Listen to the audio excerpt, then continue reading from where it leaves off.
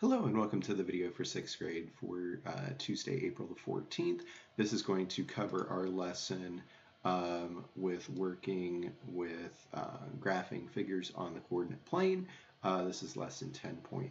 So let's go ahead and take a look at uh, the beginning of what we're working on for today.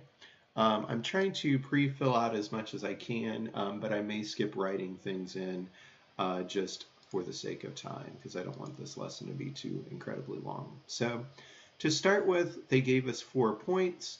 Um, they wanted us to plot points C and D. So point C would be positive 2, positive 8. Point D would be positive 9, positive 8. So this would be C, this would be D. And then they want us to figure out what the length um, or what the distance is for the length as well as for the width. So to start with, we're going to take our absolute value of 9, which is 9, absolute value of 2, which is 2, and do 9 minus 2 equals 7 feet. So that's going to be our distance from here to here. And then from point C to point B, we are doing um, the same thing, except we are starting with the absolute value of 8 and the absolute value of 3. So 8 minus 3 is going to give us 5 feet. That means the dimensions would be 7 feet by 5 feet.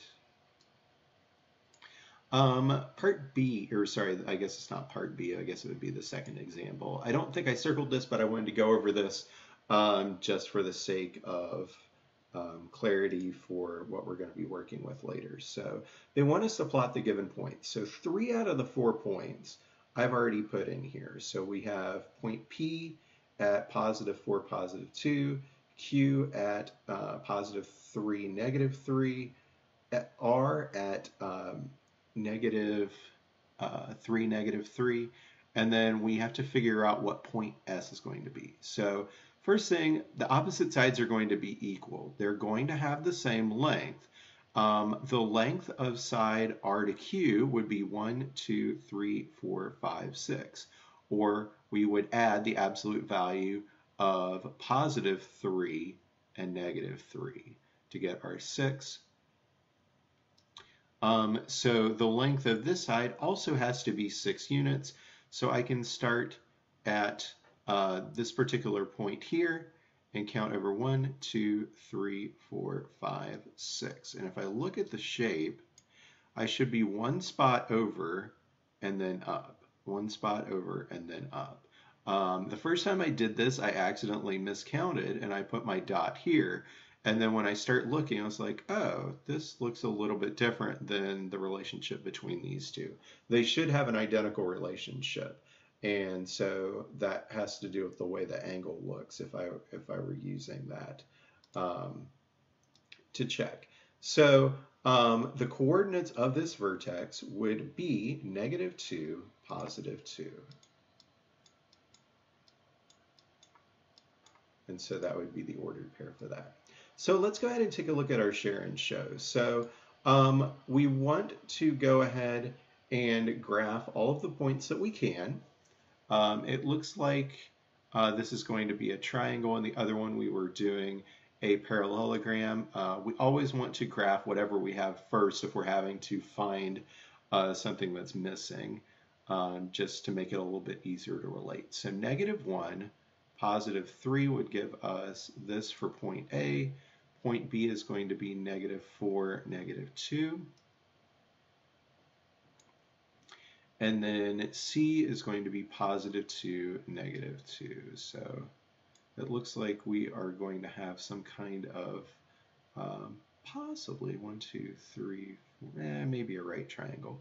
Um, I'm not going to try to play connect the dots um, too closely.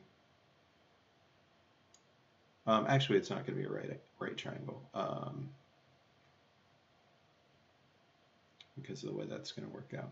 Uh, let's see, so horizontal distance from B.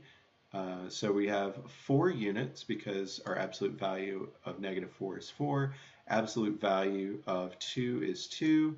So we are going to add because we are in different quadrants. So that's going to give us 6 units. Uh, number 3.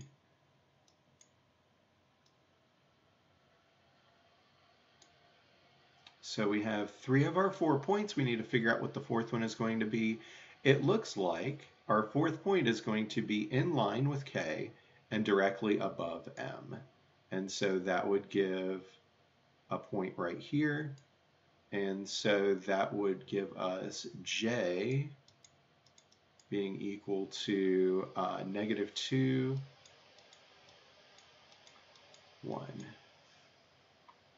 Uh, number 5.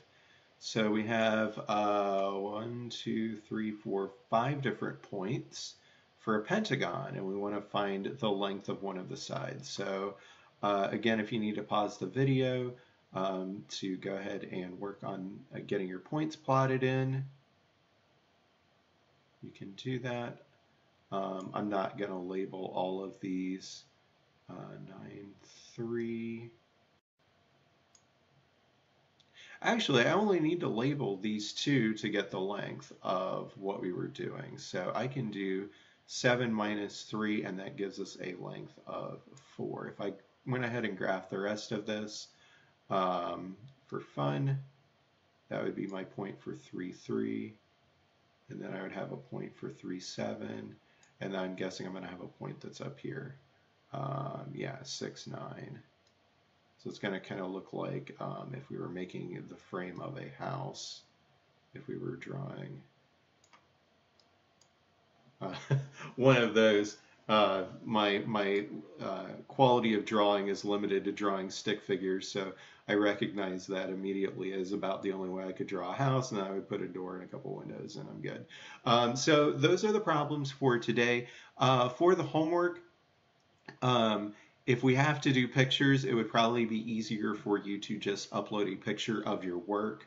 Um, if it's something like this where we can just give what the points or the lengths are, uh, then that should be really easy to do in the Google Docs. So if you have any questions, please feel free to post in the comments for Google Classroom.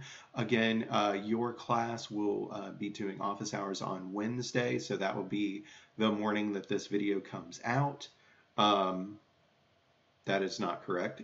You will be doing it on the morning that the homework video come, for this lesson comes out. So um, if you have any questions and uh, Monday, uh, sorry, Wednesday morning rolls around and you have questions, please feel free to ask. I'll be happy to work with you on that. So hope you have a great day and I will see you tomorrow.